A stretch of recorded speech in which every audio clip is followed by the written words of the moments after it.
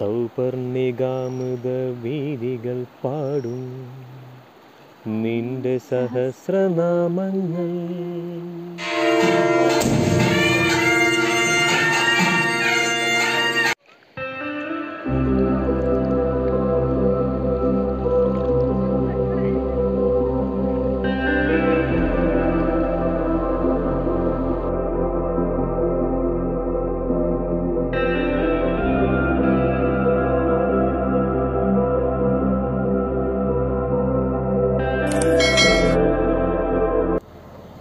ഞങ്ങൾ കുടജാദ്രി പോയി വന്നിട്ട് റൂമിൽ കയറി ഒന്ന് ഫ്രഷ് ആയിട്ട് അതാ അവിടെ ആണ് കേട്ടോ റൂം ഒന്ന് ഫ്രഷായി ചെറുതായി ഒന്ന് ഫുഡൊക്കെ കഴിച്ചിട്ട് ഇനിയിപ്പോൾ സൗപർണിക റിവറിലേക്ക് പോവാണ് കേട്ടോ അപ്പോൾ ഇവിടുന്ന് ഒരു അര കിലോമീറ്ററേ ഉള്ളൂ അതുകൊണ്ട് നടക്കാമെന്ന് വിചാരിച്ചു. പോകുന്ന വഴിക്ക് കടകളൊക്കെ ഉണ്ട്. ഇപ്പോൾ പിന്നെ ആളുകൾ കുറവായതുകൊണ്ട് വഴിയോര കച്ചവടങ്ങളൊക്കെ വളരെ കുറവാണ്. ഇവിടെ എത്തുമ്പോഴേ നല്ല വെള്ളത്തിന്റെ കളകള ശബ്ദം കേൾക്കുന്നുണ്ട് കേട്ടോ. ആരോ അവിടെ കുരങ്ങന്മാർക്ക് കുറേ ബിസ്ക്കറ്റ് കൊടുക്കുന്നുണ്ട് കേട്ടോ. അതിന്റെ ബഹളാണ്. സൗപർണികയിൽ വെള്ളം വളരെ കുറവായിരുന്നു കേട്ടോ. ഇപ്പോൾ മഴയൊക്കെ മാറിയിട്ട് കുറച്ചായല്ലോ.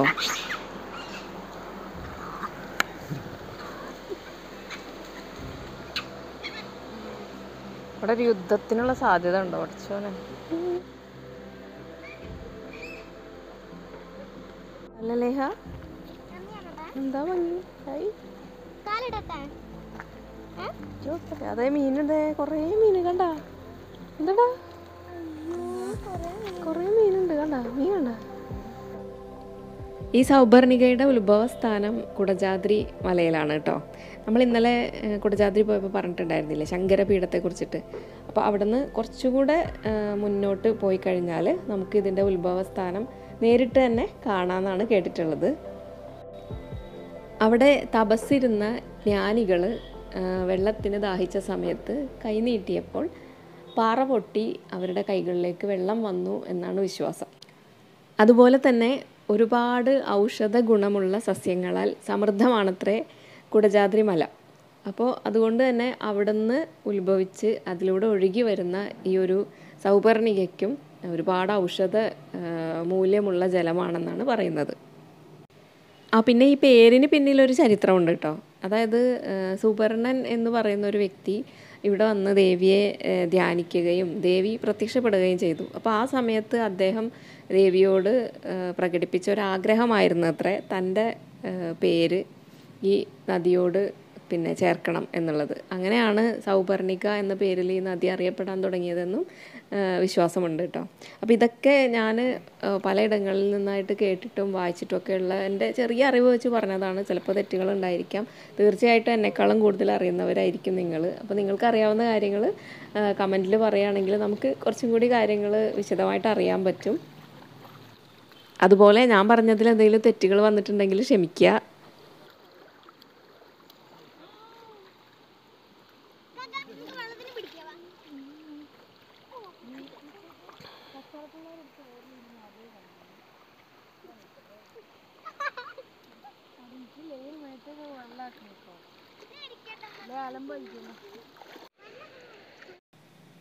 അപ്പോൾ ഇവിടെ വന്ന് പിന്നെ കുളിച്ച് മനസ്സും ശരീരവും ഒക്കെ ശുദ്ധീകരിച്ചാണ് ദേവിക്ക് മുന്നിൽ പ്രാർത്ഥിക്കാനായിട്ട് പോകേണ്ടതെന്ന് ഞാൻ കേട്ടിട്ടുണ്ട്.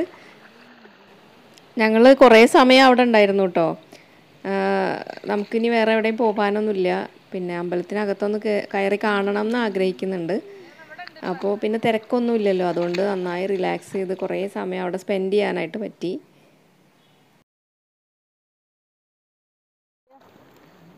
ഇവിടെ എറിഞ്ഞ് കളിക്കാൻ വേണ്ടിയിട്ട് കല്ല് വർക്കുണ്ട്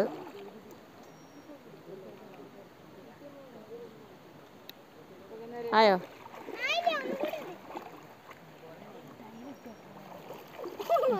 രണ്ട്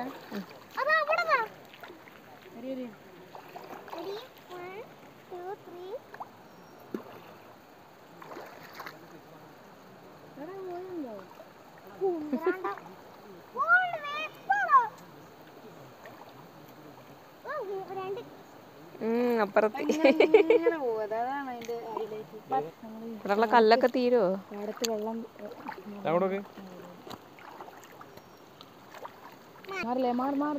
ഭയങ്കര മത്സരാട്ടോ.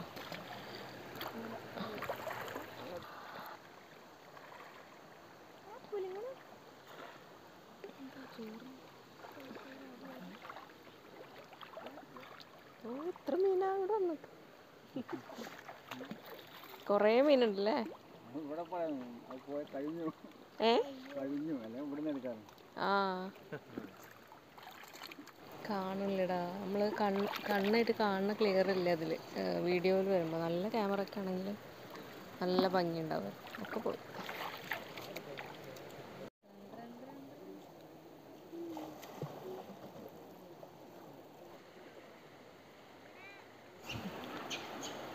സൗപർണികാമുദ വീതികൾ പാടും.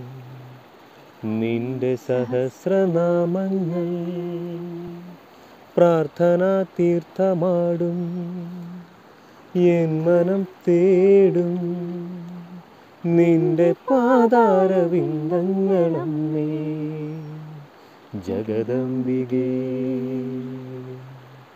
മൂകാംബികേ.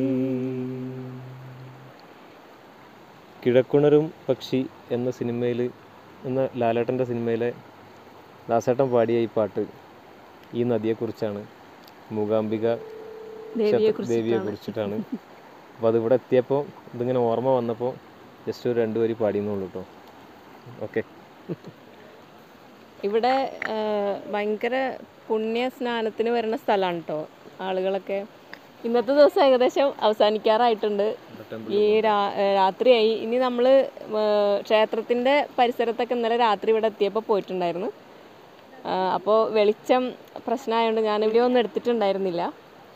അപ്പോൾ ഇപ്പോൾ നമ്മൾ ജസ്റ്റ് ഒന്ന് അവിടെ പോയിട്ട് വെളിച്ചമൊക്കെ പോകുന്നതിന് മുമ്പൊന്ന് വീഡിയോ ഷൂട്ട് ചെയ്യാൻ പറ്റുമോ എന്ന് നോക്കട്ടെ. നമുക്ക് അങ്ങോട്ട് പോവാം.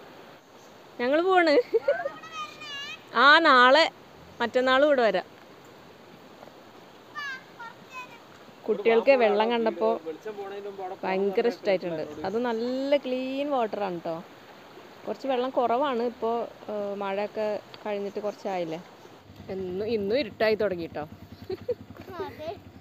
പശുക്കളെ നായ്ക്കളെ? നല്ല വൃത്തിക്ക് വളർത്തുന്നുണ്ട് അടക്കത്തിലും ഒതുക്കത്തിലും.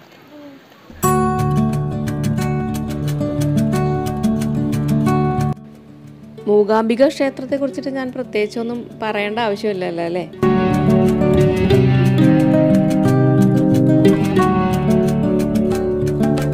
നമ്മൾ മലയാളികളാണെങ്കിലും വിദ്യാരംഭത്തിന് നമ്മൾ ഏറ്റവും കൂടുതൽ പ്രാധാന്യം കൊടുത്ത് വരുന്ന ഒരു സ്ഥലമാണ് പിന്നെ മൂകാംബിക ക്ഷേത്രം.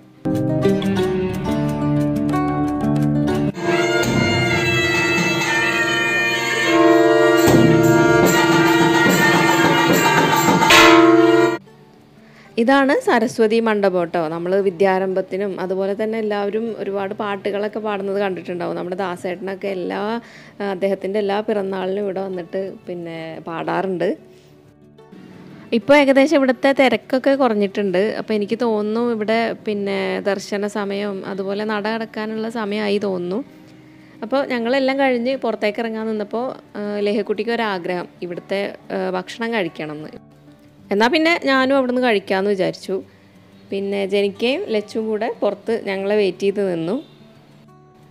ഇവിടെ ഓപ്പൺ കിച്ചണാണ് കേട്ടോ. നല്ല നീറ്റായിട്ടാണ് പ്രിപ്പറേഷനും കാര്യങ്ങളൊക്കെ. പിന്നെ പാള പ്ലേറ്റ് ആണ്. അപ്പോൾ അത് നല്ല ചൂടുള്ള വെള്ളത്തിൽ നമുക്ക് തന്നെ മുക്കി എടുത്തിട്ട് നമ്മൾ തന്നെ കഴുകണം.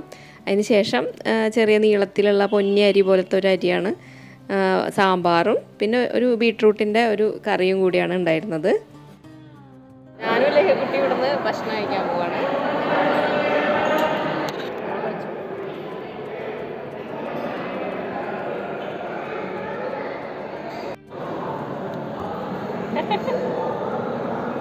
പോവാ